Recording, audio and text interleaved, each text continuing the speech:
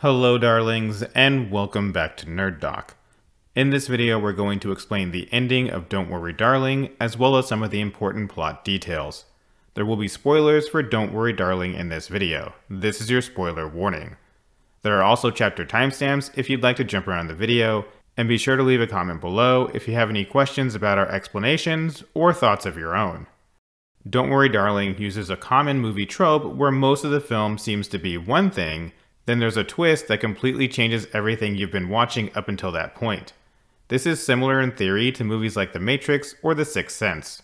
With Don't Worry Darling, the film makes you think it's taking place sometime in the 1950s, centered around the Victory Project out in the desert in California. It's the brainchild of a doctor who goes by Frank in the film, as well as his partner, Dr. Collins. Victory seems like a utopian community, with the men going to work every morning, while the women cook, clean, hang out by the pool, and go shopping. The one rule in the Victory community is that no one is allowed to go near the Victory headquarters except Victory Project employees, namely the men. The Victory Project is actually a lie. In fact, everything in the movie is a lie. The main couple in the film are Alice Chambers and her husband Jack. Alice's friend and neighbor Margaret seemingly goes crazy after seeing a red plane in the sky that appeared to crash in the desert. When Margaret goes out to investigate with her young son, she saw something in the desert, but her son never made it back, and he has been missing ever since. The red plane seemed to crash near Victory headquarters, which means Margaret went to the one area she was not supposed to venture into. Margaret's husband tries to get her to take some pills to calm down, but she refuses.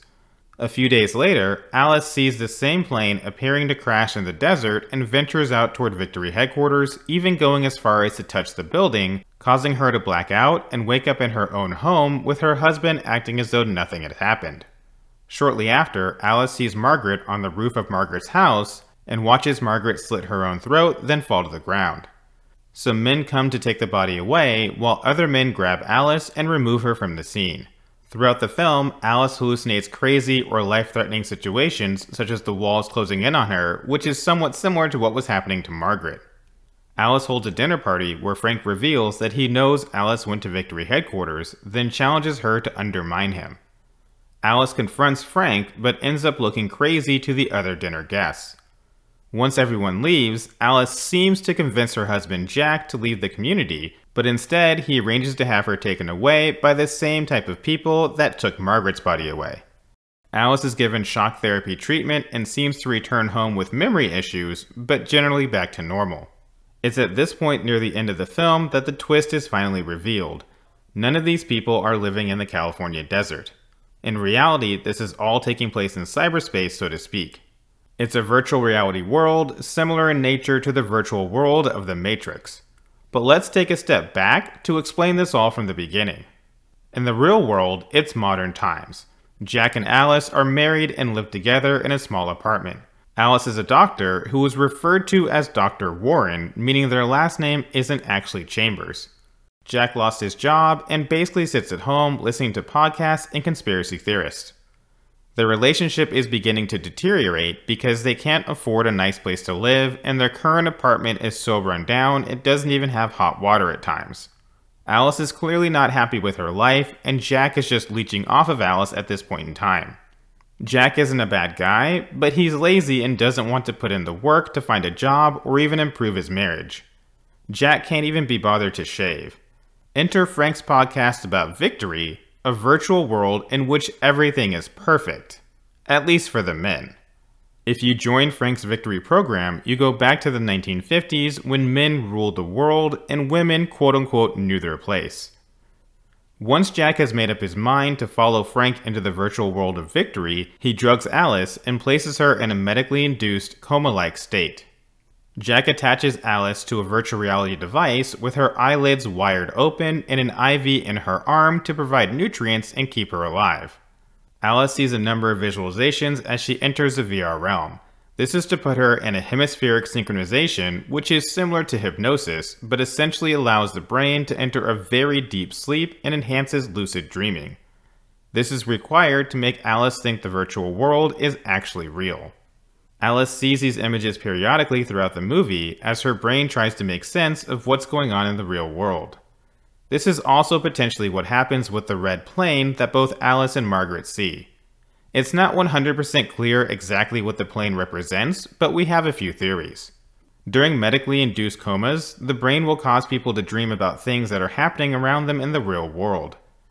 For instance, one case study saw that a person dreamed about Alaska despite never having been to or even having a desire to travel there.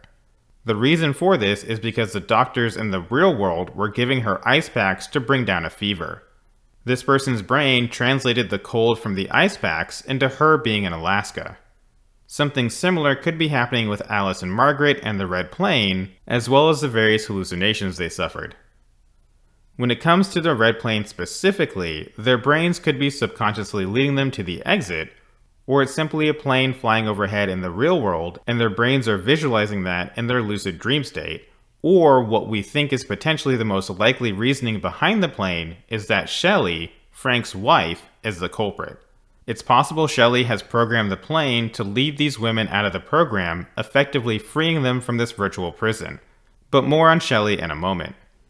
The synchronistic nature of the ballet class all the women attended and the imagery Alice kept seeing are all meant to keep her in this hemispheric synchronization state to keep the women thinking the simulation is real. When Alice started to challenge Frank, he egged her on because this was a test for his hemispheric synchronization algorithm to see if she could break out of the hypnosis and get back to the real world. When she failed to do so and just pointed out surface level flaws, Frank was disappointed. Most of the women in the simulation are there against their will, like Alice. They can also be programmed or forced to act a certain way or have specific desires. This is evidenced by Alice's overly heightened sex drive, but this also provides insight into Jack's general lack of manhood. Throughout the movie, Alice and Jack never have direct intercourse. It's always Jack pleasuring Alice because he doesn't feel as though he can adequately satisfy her in any other way. This may be partially due to the fact that Jack doesn't want to have to clean up his own mess every morning when he exits the simulation, and because deep down he feels bad for what he's done to Alice, so he subconsciously wants to make it up by servicing her while denying himself from the same pleasures. Now, of the women in the Victory program, only Bunny and Shelley are aware of the simulation. Shelley is married to Frank and was probably his first test subject and not a prisoner in the space. But over the years, she's grown tired of Frank, and when Alice finally breaks the mold, Shelley takes the opportunity to kill Frank and take over the victory program for herself, likely making it more focused on the women instead of the men. It's also possible she's been planning Frank's death for some time, just waiting for the right opportunity to kill him and stop this slave-like community and take over the Victory Project for herself. Meanwhile, Bunny is in the program voluntarily because she lost her children in the real world. Bunny couldn't get them back, and she can't deal with the grief of losing them, so she chooses to stay in the simulation where she can be with her children once again. None of the children in the simulation are real, which is also why Margaret's child was taken away from her when she discovered Victory headquarters. Since Margaret's child never actually existed, he was simply removed or erased from the program as a way to punish Margaret for breaking the one rule of the Victory community, not going near Victory headquarters. Speaking of Victory headquarters, it basically serves as a way to exit the program. It triggers a response that wakes the individual up in the real world and allows them to go on about their daily lives. For the men, all they have to do is drive to a specific location in the desert. In the simulation, the women are never taught how to drive and are even programmed to forget how to drive, specifically to avoid the possibility that they may try to escape. However, they can still escape by simply touching the exterior of the Victory Headquarters building, which is also why they are prohibited from getting anywhere near it.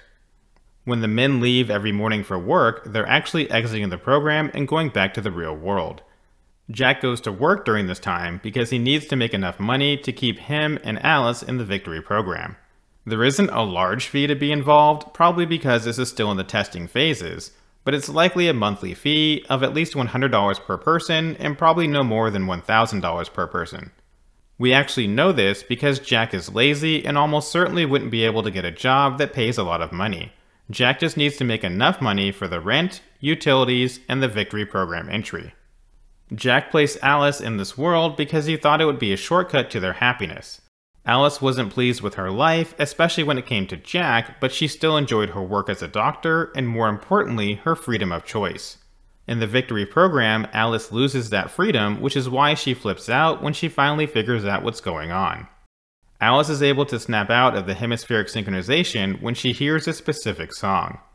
This is actually very similar to Stranger Things Season 4 and how those characters snap out of the hypnosis from the primary antagonist by listening to their favorite song.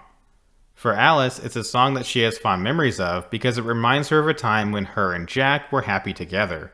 Throughout the movie, she flashes back to a point in time when Jack had just lost his job, but the couple was still happy. At the time, they thought they would figure things out, but unfortunately they ended up growing apart, partially due to Alice working longer shifts at the hospital, and partially because Jack wasn't willing to put in the effort to properly mend the relationship. Alice kills Jack in the virtual world, which also kills him in the real world. This concept is very similar to the Matrix in that because the world is so realistic, it tricks the brain into thinking it's real. So if you die or get injured in the simulation, your brain thinks that you've really died or been injured and ceases to function. This stems from a deep-rooted psychosocial conditioning or psychosomatic association of the people in the Victory program, which is difficult to override, especially for the women who never get to leave the program. As you can see, there's a lot to deconstruct in Don't Worry Darling, but hopefully you have a better understanding of the movie and the real-world concepts the movie is based on. So what did you think of the film? Did it feel too much like The Matrix, or did you enjoy it completely? Let us know your thoughts in the comments below, and of course if you have any additional questions, feel free to ask them in the comments as well. For now, that wraps up this video. Thank you for watching. If you enjoyed the video, please don't forget to like, subscribe, and share with someone who loves Florence Pugh and Harry Styles.